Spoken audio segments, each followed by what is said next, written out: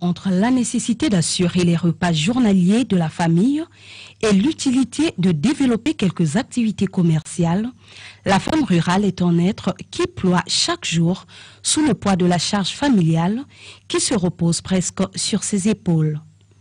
Selon les statistiques, la femme rurale travaille presque 16 heures par jour au point où elle ne se repose que la nuit pendant les heures de sommeil et les défenseurs de la cause de la femme rurale n'hésitent pas à dire que la femme rurale nourrit le monde. En effet, elles sont 1,6 milliard dans le monde, soit le quart de la population mondiale. La République du Congo ne fait pas exception, car ici, 80% de nourriture sont produits par la femme rurale. Sur les 60% de femmes qui composent la société congolaise, plus de 4000 d'entre elles organisent leur vie grâce au travail de la terre. Ce dernier est devenu pour elles une question de vie et de survie. La production du manioc, du maïs, du riz, de l'arachide, du haricot, du poisson et autres sont les principales activités de la femme rurale, dont l'essentiel de la production est destiné à l'autoconsommation, mais rarement à l'acquisition des revenus monétaires. En regardant de près le travail de ces femmes, on est frappé d'un fait. L'utilisation des moyens rudimentaires, aussi bien dans les activités de production que de transformation des produits de la terre.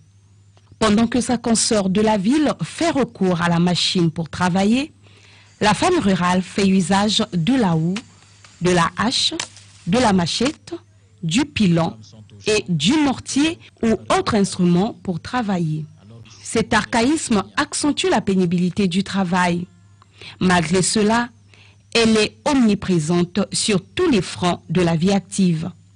Sur le plan agricole, la femme rurale, présente à 80%, intervient dans les opérations de préparation de terrain, de désherbage, de semi-désherbage, de planting, d'entretien, de récolte, de transformation et de commercialisation, devenant ainsi l'épine dorsale de l'économie rurale.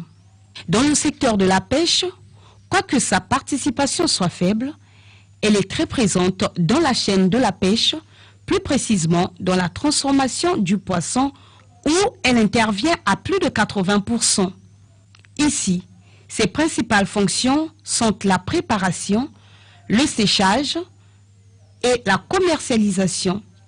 Sur le plan de l'élevage, même si l'élevage du petit bétail reste l'apanage des hommes, 13% de femmes s'occupent de l'élevage de la volaille. En dehors des secteurs précités, les femmes rurales exercent une multitude de tâches à côté des hommes dans les autres sphères. C'est le cas de la vie associative où la femme rurale est très active. Évoluant dans un environnement qui lui est propre, la femme rurale, selon les tribus ou les départements, n'échappe pas souvent au poids de la tradition qui lui fait obligation de jouer les seconds rôles après l'homme. Elle doit aussi obéir à certains interdits. Maintenant que la communauté internationale a décidé depuis 1997 de consacrer la journée du 15 octobre